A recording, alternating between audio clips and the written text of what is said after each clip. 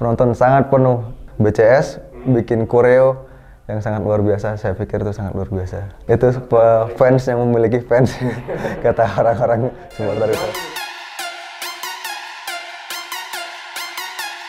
Halo, eh, saya Tri Hamdani Guntara, bisa dipanggil Tri, bermain di PSS Sleman, posisi penjaga gawang, umur 28.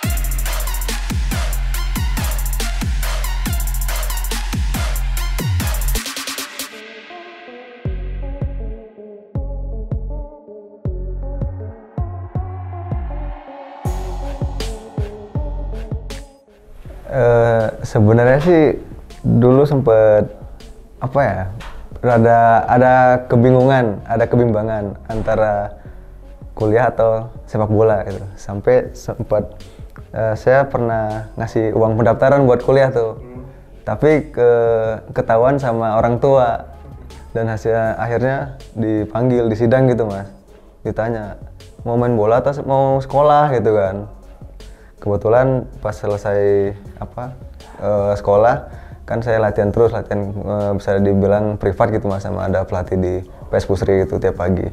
Makanya karena ketahuan ngasih uang buat dataran kuliah di sidang udah saya langsung tegaskan ya udah pak saya main, main bola gitu gitu.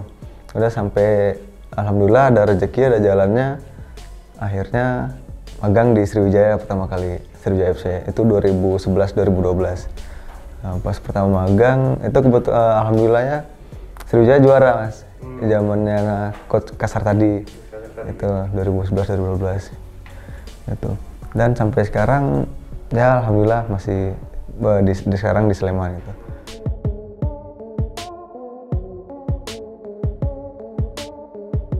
sempat berapa kali pindah tim cuman paling lama emang di Sriwijaya dari 2011 12 13 14 terus 15 nya saya ke Persita. Nah, memutuskan untuk merantau gitu. Merantau pertama kali ke Persita 2015 dan itu waktu ke, di Persita kita di band pas eh, apa namanya? Eh, PSSI dibukukan. Oh, iya, nah gitu. PSSI dibukukan 15 ya PSSI dibukukan. Akhirnya pulang lagi lah di Palembang. Mungkin ikut seperti apa eh, TSC ya dulu ya? Torabika itu 2016 mas. Heeh. sebelum di TSC saya ikut kayak liga internal di Palembang. Nah, terus akhirnya Sriwijaya mulai persiapan lagi dan saya dipanggil kembali mas. Dipanggil kembali ya gabung kembali 2016 itu bareng siapa? Masih ada Bang Supardi masih apa? Bang Ridwan Firman Utina itu masih ada. Golden eranya Sriwijaya ya berarti? Golden eranya itu pas 2011 2012 mas. Kayak kayak Mbak gitu loh, Lim Jun Sik. Oh, banyak. Terus 2017 nya saya pindah ke Sleman. Jadi orang dari Sriwijaya itu langsung ke Sleman? Iya. oh. Eh, di situ awal eh, saya bela Sleman di 2017 gitu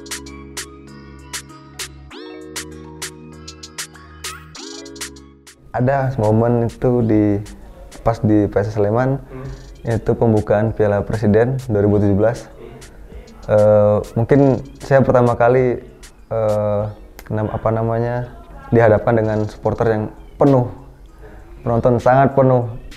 Dan eh, apalagi di apa BCS bikin koreo yang sangat luar biasa saya pikir itu sangat luar biasa. Itu fans yang memiliki fans kata orang-orang supporter itu.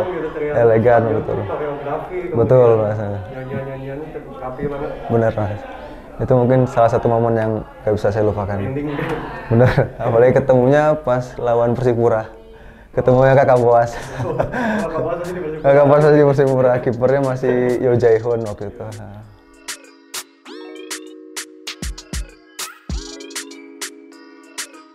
idola. Mungkin di- karena itu di Palembang ada Ferry Rutin Sulu semua orang tahu boleh Ferry orang tahu. Rutin Sulu gimana di lapangan dia gimana wibawanya sekarang masih ngelatih ya? Ngelatih. Di Sriwijaya mungkin Oh, masih Sriwijaya. masih. Ya. Itu apa? Ciri khas. Tangannya besar ya, Ferry. Dijulukin Spiderman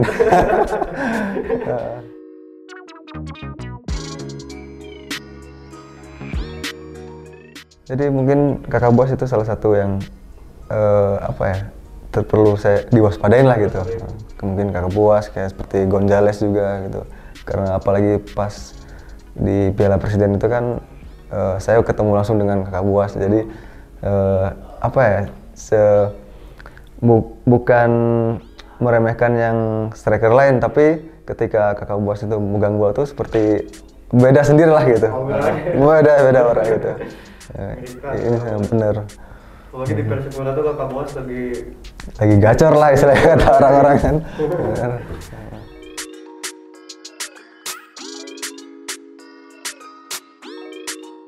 Kalau target pribadi untuk tim yang jelas pengen berkontribusi banyak untuk PSS Sleman dan target untuk diri sendiri ya harus lebih lah dari tahun-tahun sebelumnya gitu.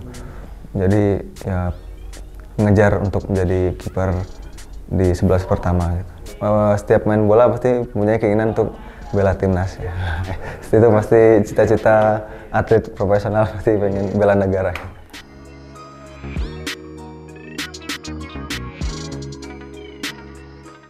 Yang jelas emang gak mudah untuk eh, masuk ke fase sampai sekarang ini. Tapi yang untuk anak-anak muda jangan patah semangat. Pokoknya fokus apa yang kalian tuju.